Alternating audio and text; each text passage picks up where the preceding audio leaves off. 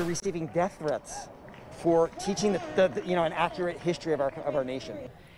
Educators are standing in solidarity with teachers of color in Oregon. Some say that they are receiving threats for teaching racism in schools. A group gathered at the Friendship Circle in Portland to show their support. Oregon teachers at today's rally say that bullying and intimidation tactics will not stop them from teaching the truth about U.S. history. Well, you spoke several times before about ideological subversion. That is a phrase that uh, I'm afraid some Americans don't fully understand. When uh, the Soviets used the phrase ideological subversion, what do they mean by it?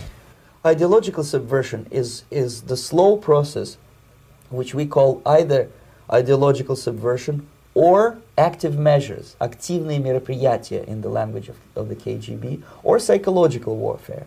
What it basically means is to change the perception of reality of every American to such an extent that despite of the abundance of information, no one is able to come to sensible conclusions in the interests of defending themselves, their families, their community, and their country.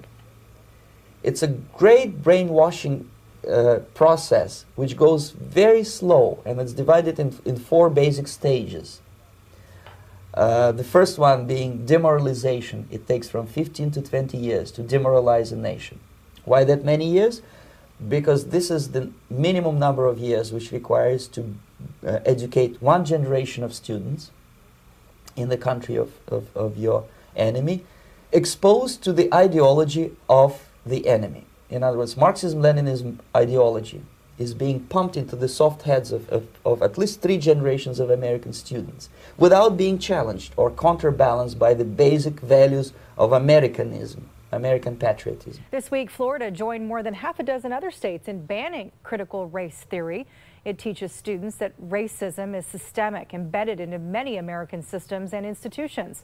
Local teachers say education is about the truth. Demoralization process in the United States is basically completed already. Uh, for the last 25 years, actually it's overfulfilled because uh, demoralization now reaches such areas where previously not even Comrade Andropov and, and all his experts would, would even dream of such a tremendous success. Most of it is done by Americans to Americans thanks to lack of moral standards. As I mentioned before, uh, exposure to true information does not matter anymore. A person who was demoralized is unable to assess true information. The facts tell nothing to him. Uh, even if I shower him with information, with, with authentic proof, with documents, with pictures, even if I take him by force to the Soviet Union and show him concentration camp, he will refuse to believe it until he, he is going to receive a kick in, the, in his fat bottom. When a military boot crashes his balls, then he will understand, but not before that. That's the tragic of the situation of demoralization.